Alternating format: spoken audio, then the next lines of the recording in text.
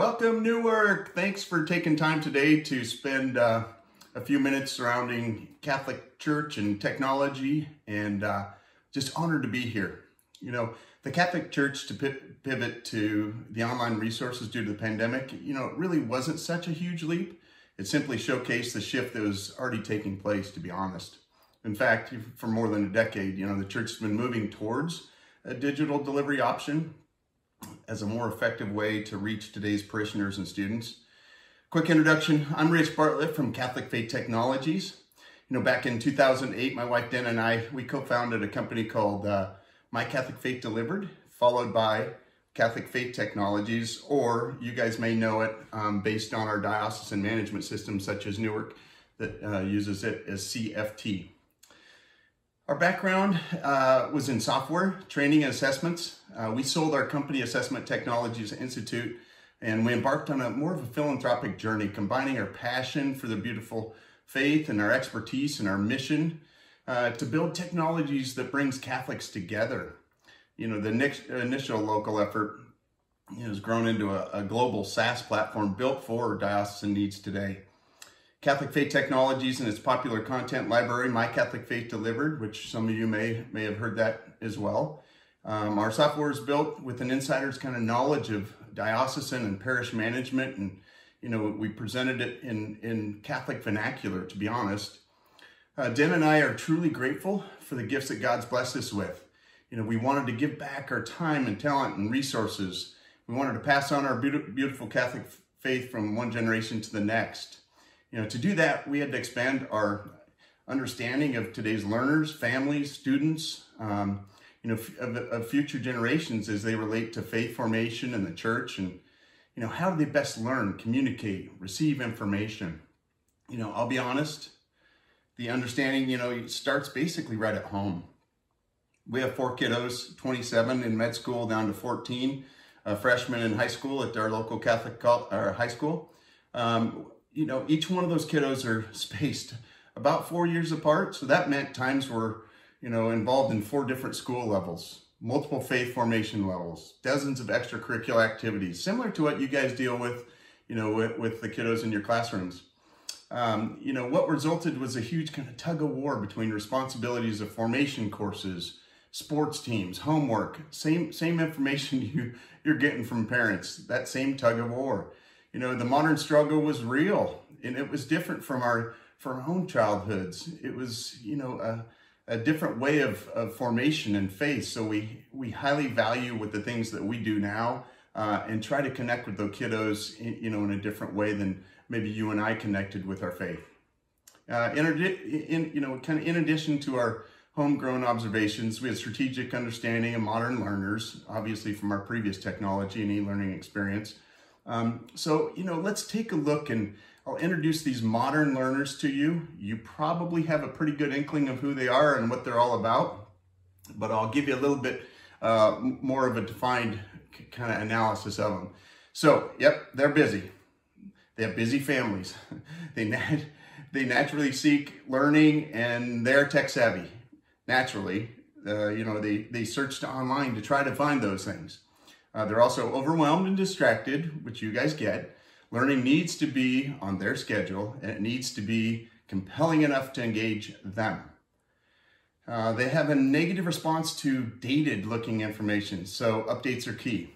Um, it, for you as administrators, you need to be able to create content, make changes easily, um, and that content needs to be both highly high quality, personalized, uh, kind of a, a, a, visible personal journey, you know, with frequent touch points maybe, um, you, you, know, is the answer, I guess, in, in, in, you know, suggested learning to address other areas that need strengthening or valued.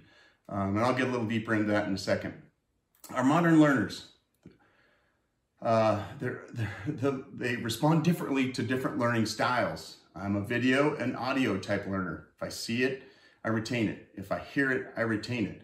Other kiddos uh, are different. Maybe they they are written or game-based type graphically uh, learners. We try to hit all of these interesting messages, you know, to combine that effectiveness within the platforms. Modern learners are great at skimming content because they, they're used to revisiting information as needed and, and then continue to go back to digest it. They operate from, you know, I don't know it all, but I know where to find it.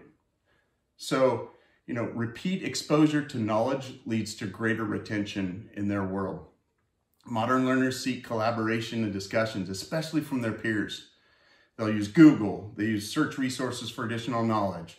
You know, that's why it's so critical and steadfast that, you know, we give them reliable Catholic content. You know, that's where they're going to look. It's no secret that the church is seeing emptier pews. We see it every week in Mass, even before the pandemic. So now it's even more important to try to get them to engage. You know, that doesn't mean that they aren't, you know, don't don't have, you know, eager minds to try to be fed about their faith, but you need to feed them in the way that they prefer it, and that's usually online today. Uh, this became, you know, abundantly clear. Um, one of our first forays in online marriage prep courses that we created, uh, and what we call our marriage uh, prep process. It actually, Newark uses it today. Uh, there's a very, very large um, diocese, very close to where you guys are, um, that we do this as well for and they had a expectation of about 800 couples to come through after they got this live.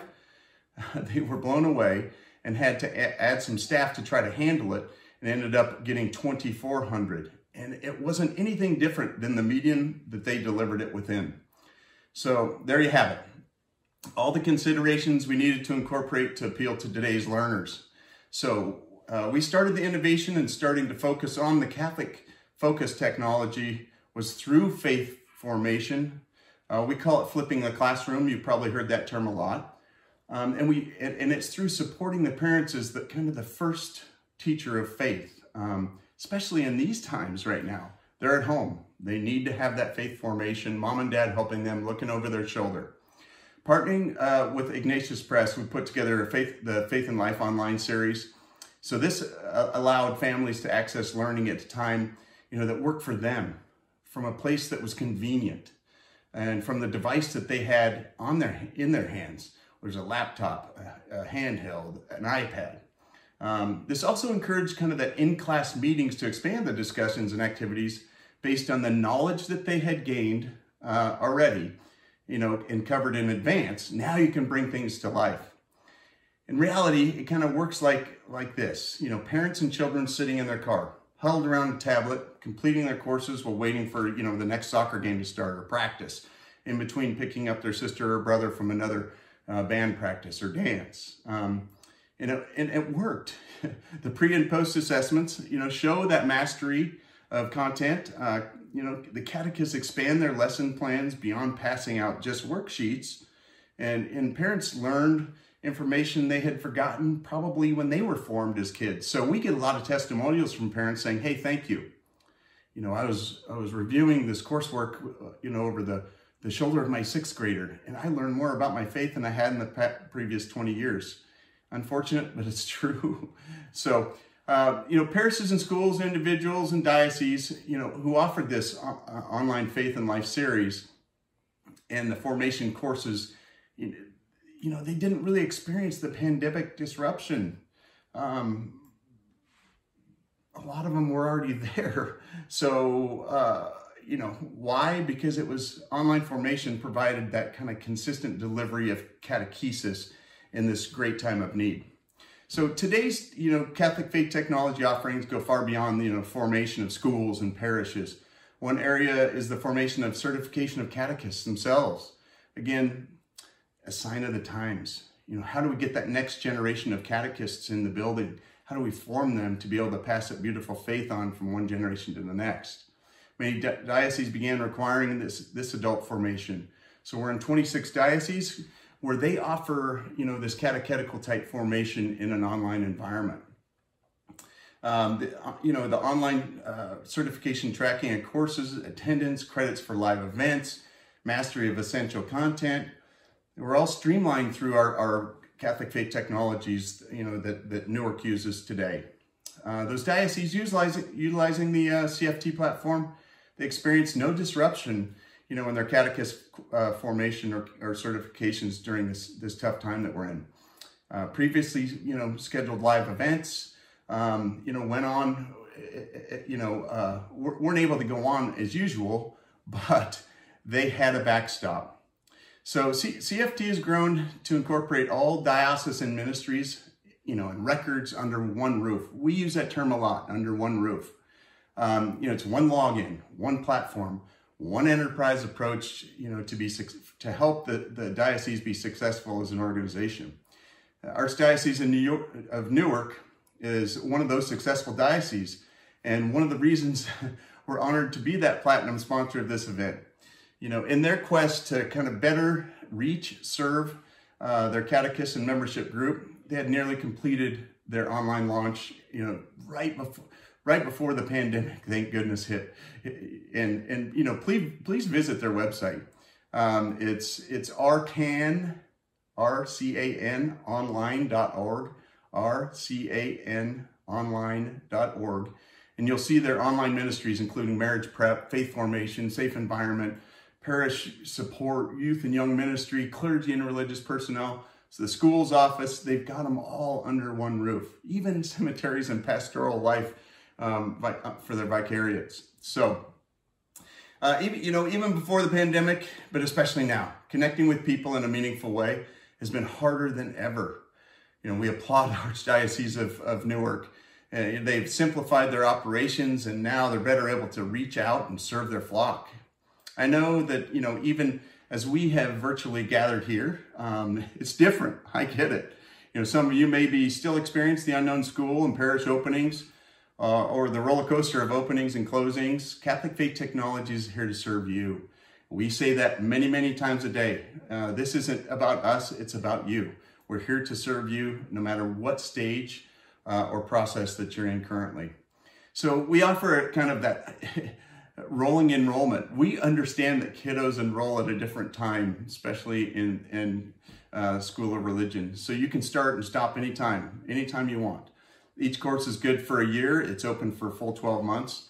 Give you a better feel for, for our courses, you can visit our library at mycatholicfaithdelivered.com. Um, and, and, you know, I encourage you to use the, the, the code Newark50 and you can sample a, a variety of different courses on CFT site. Uh, again, it's Newark 50, no spaces. Um, CFT Foundation Series courses, uh, which are also available in Spanish. Uh, you know, you, will be able to see courses from leading apostolates and our diocesan partners and network. Um, courses that are engaging and available for, you know, any age and stage of formation. They're appropriate for, you know, anyone looking for 24-7 type opportunity. Kick your feet up on the, on the coffee table at 9 o'clock at night after you get the kiddos to bed, and away you go. If you're new to online learning, especially if technology isn't a natural fit for you, um, you know, and you're you're a, a, a, a, not a digital native like our kiddos are.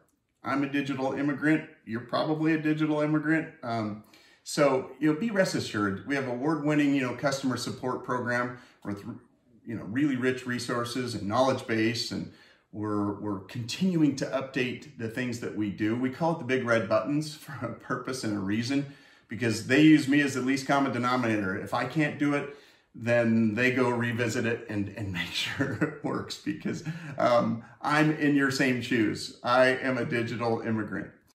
You may also be, you know, a bit uneasy about the effectiveness of online formation. As I mentioned before, our courses include assessments so you can track progress, identify strengths and weaknesses. Even more assuring, CFT offers uh, the NCEA's online ACRE assessment for both kiddos in school as well as parishes, as well as the adult survey and assessments. Also tagged on, on the backside of those adult surveys is it takes that assessment and spools up content um, that is directed towards maybe the things that they may not have strengths within, whether it's scripture or prayer or whatever the case may be, it automatically feeds that into a personal learning path for them. You know, these assessments can be purchased, um, you know, or lower than last year, which is wonderful because uh, most of our apostolates said, hey, we know these parishes and schools are in a time of need. We need to make sure that it's affordable and they can access it in an easy fashion. So most of those apostolates have allowed us to reduce, you know, the pricing on on most of the, the content that we currently have, which is unbelievable, and we're very, very thankful for them. So again, thank you for all you do. You know, we're just honored and blessed to have you today, as well as Newark and the rest of the diocese are participating. Um, are just honored to have you. And and just like Archbishop Keleher Emeritus told us one time uh, when we first started our company, and we live by this. He said, if you we fail to pass on from one generation to the next our faith, we fail as church. So please, please uh, let us know if we can serve you too. God bless you. Enjoy the conference and uh, look forward to talking to you soon. Thanks, Newark.